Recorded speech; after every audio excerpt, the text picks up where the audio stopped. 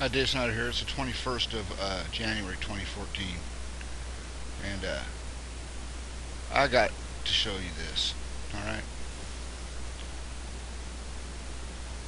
This is a picture of the Antarctica rock structure, right? This is a picture of Antarctica. Do, do they look pretty close to the same size to you?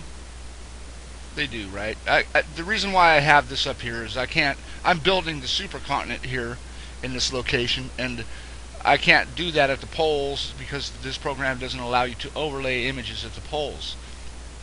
But do you agree that that Antarctica picture, this is what comes to Google Earth, and this is overlaid over in the Pacific. They're about the same size. You agree with that? The outline is about the same size as that right there, right? Right. I, I'm pretty sure you agree with that. So, if that's true, and this, then that means the moon's this big. Let me just put that way. That means just this part of the moon, right here, the lunar south pole, is that big. Just this part. You know how big Antarctica is if you measure it? The, the, I mean, it's it's you know a few thousand miles at least. Yeah, there you go. Over 3,000 miles across. So, when you have the lunar south pole reversed image, this is the reversed image of the lunar south pole over the Earth, fitting to scale the lunar south. I mean that that Antarctica. Now I didn't align this picture to this picture of the moon. This picture right here, I did not align this picture to this picture. I aligned this picture right here to this picture. Oh, that right down here. To this one. Right here. I aligned it to this picture right here. As I showed in the last video. Because I've seen those patterns match, right? I just I that's all I did was I took that picture right there of the Antarctic rock structure and I overlaid it over this picture. It's underneath it right now, but it's you know, it's right there. I overlaid this picture right here over the top of this picture here. Then I brought up the lunar south pole, which I already had aligned, right?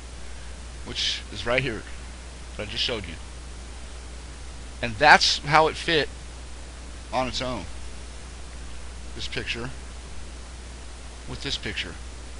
And that is the same thing. To scale. Right there. That's the size of the lunar south pole. Otherwise,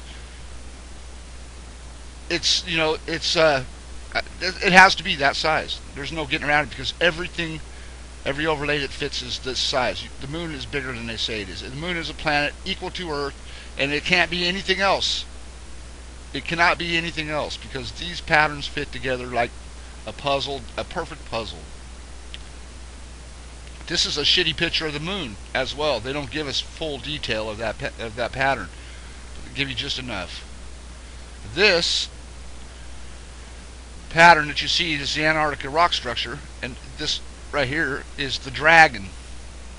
This is what ancient people had to see on the moon at the lunar south pole. And I'll bet you, since it was a fire-breathing dragon, that they actually seen the moon in color. With these these areas, the matching areas that are on the lunar south pole, which are right here, right here. This would be this area here would be like the shape, and this would be the wing. This would be a big volcano on the moon, volcanic area on the moon, and so would this on the Earth. This as well on the Earth. We know there's still volcanoes down there in Antarctica, but I'm just saying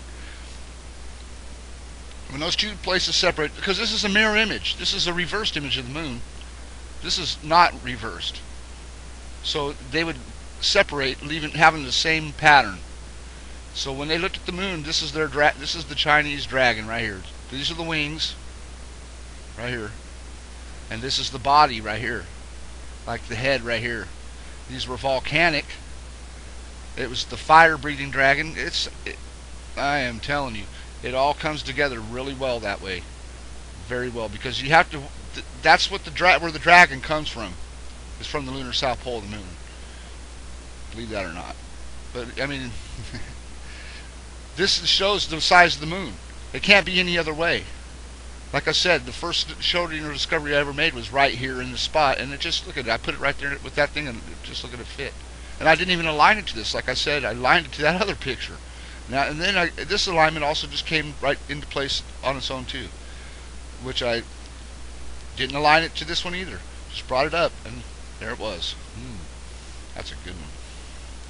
And that kind of shit is what makes me angry right there when I when I find stuff like this because that crater, that this right here, just from here to here is 3,500 miles or whatever. The moon is only supposed to be 2,000 miles. And how is that possible? You want to tell me how that's possible? Because that is the same thing as well. Look, all this is in there. It's the same thing.